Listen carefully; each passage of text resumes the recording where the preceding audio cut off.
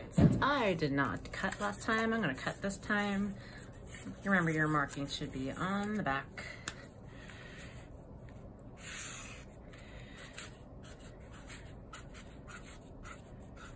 I'm drawing the lines that I'm gonna cut, which are the up and down lines. And the lines that I am going to, or where I'm gonna stop is that side to side line.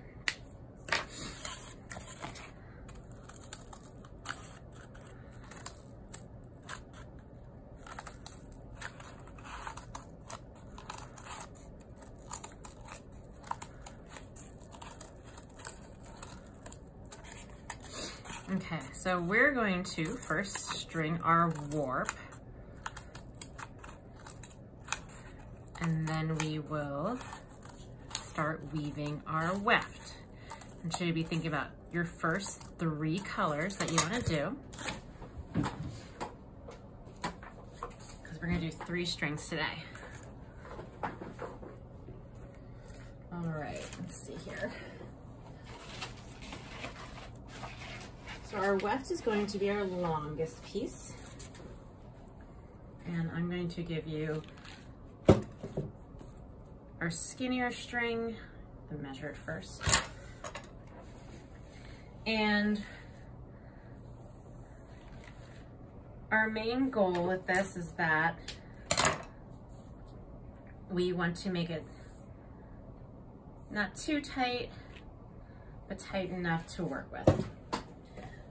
So you're going to have a piece of tape too. And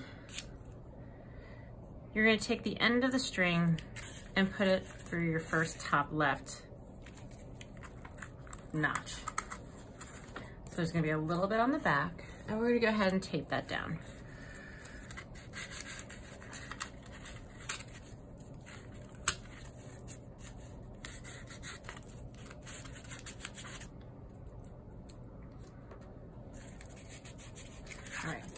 Now we're gonna go up and down. But instead of wrapping it around the back, we'll wrap it around each one of these cuts. So your first one will go down and into your cut. And then instead of going back around, what we're going to do is just go to its neighbor. So we're gonna go to its neighbor, put the string through, and on the front ends up looking like this. So we're going sideways to its neighbor to make a short distance so we can start the next one. Come up, go through, go next to next door to its neighbor, behind, go through, come back down.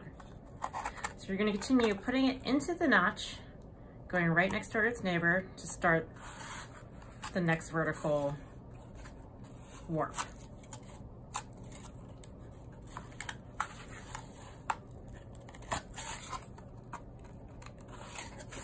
Your back should look like, kind of like stitching like that. They shouldn't go all the way through or all the way across. They only should go all the way across on the front.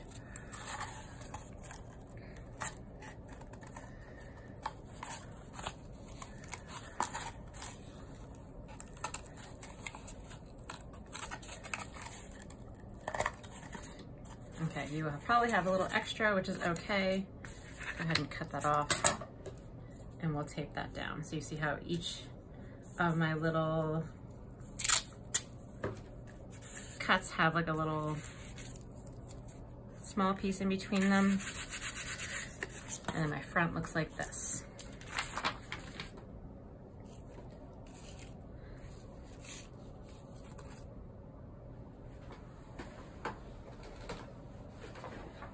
All right, you're going to get your first string and a plastic needle. This is plastic, so it's pretty safe, but still I want you to be careful with it. By watching this video, you are agreeing that you are going to be safe with this needle. You are not going to pretend to poke anybody with it or yourself because it still is a little pointy. So make sure you are being safe.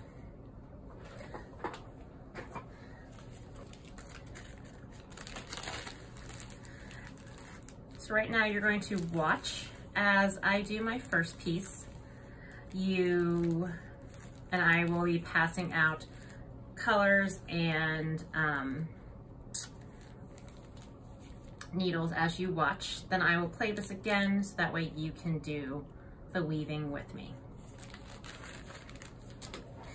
So you will thread your yarn through, leave a few inches so that way it doesn't pull through your needle. This is the end. You are going to, like we did with our paper weaving, go in a pattern of over and under. So I'm gonna start under, over, under, and I'm just kind of letting my needle go up and down as I rock it up and down. If I need to pick it up, I can. Under. And because we have an odd number of strings, it should end up the same as your first one. Go ahead and pull through until you have a little bit hanging off of the left side. You want that little bit extra. Now you will have a fork. I'm gonna do this with my fingers because I don't have a fork. And you will push up your string.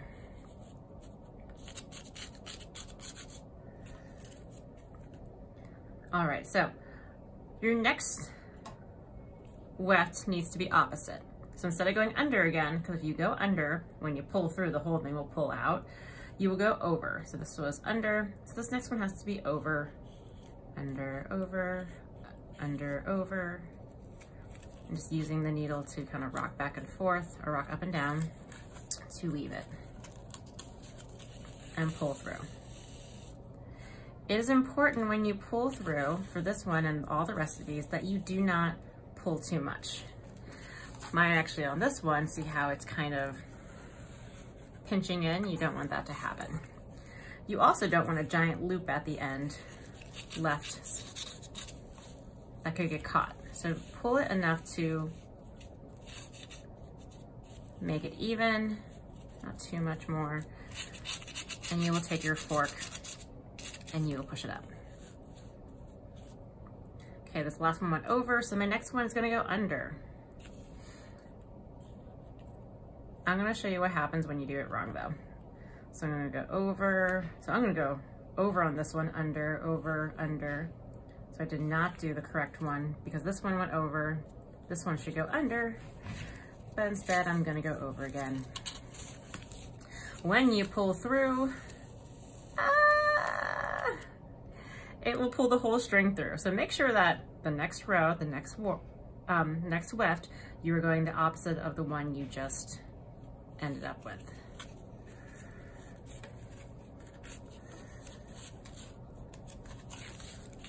Pull through. Not too tight, not too loose, push it up. This one I'll go under.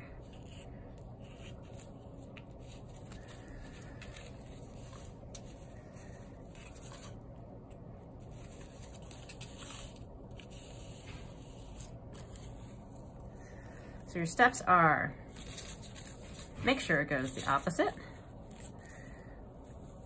Over, under, over, under.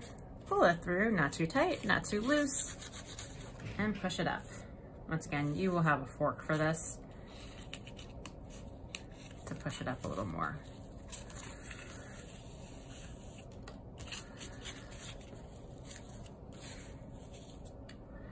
Now, as you're getting to the end of your string, You're gonna pull through as much as you can. So this length string goes about four times, maybe five. Actually, I probably can get this through a fifth without my needle. Let's see here.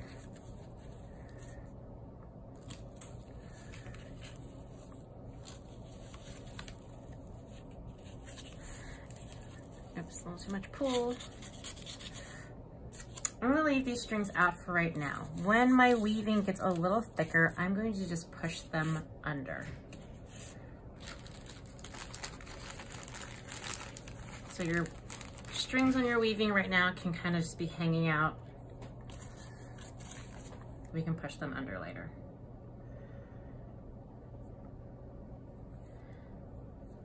So this one started over, so next one should be under. I'm gonna start from this side just because I don't want too many strings coming from that side.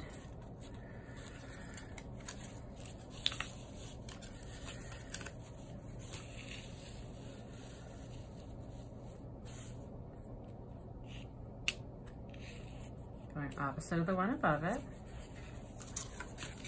Not pulling too tight, not leaving it too loose.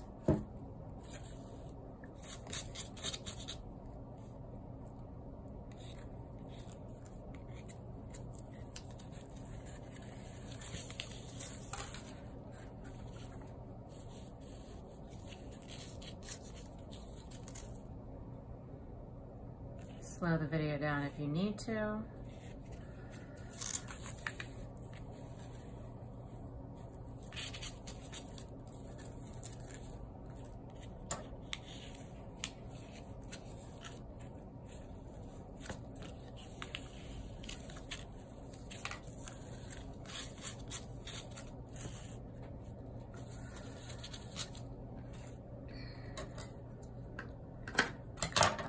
extra. Let's do one more color. Let's see here.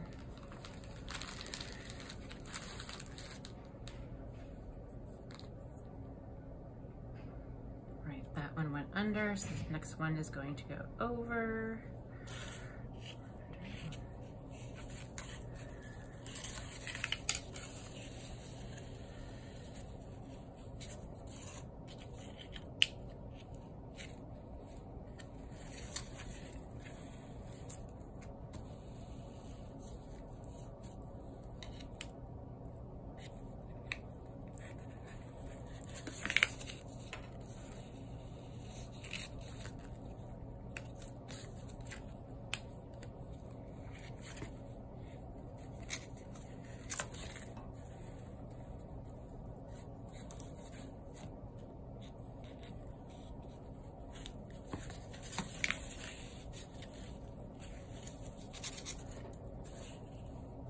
All right.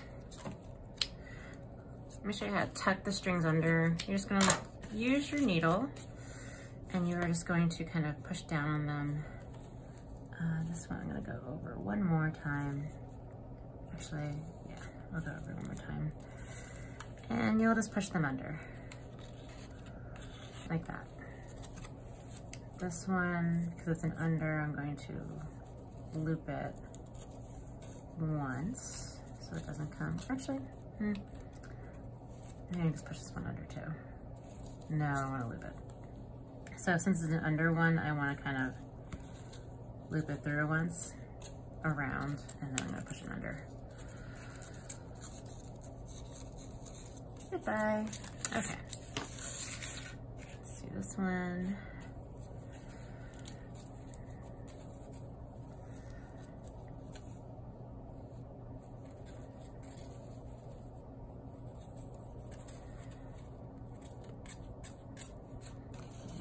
Through once. And push them under. You don't really want to cut them off too short or they might unravel, but you can cut them off a little bit if it helps get them under.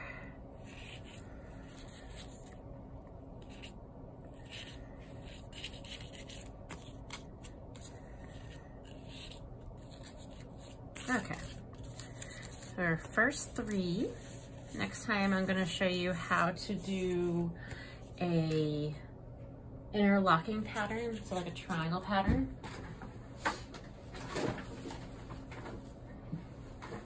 Kind of like this where one color fades into another.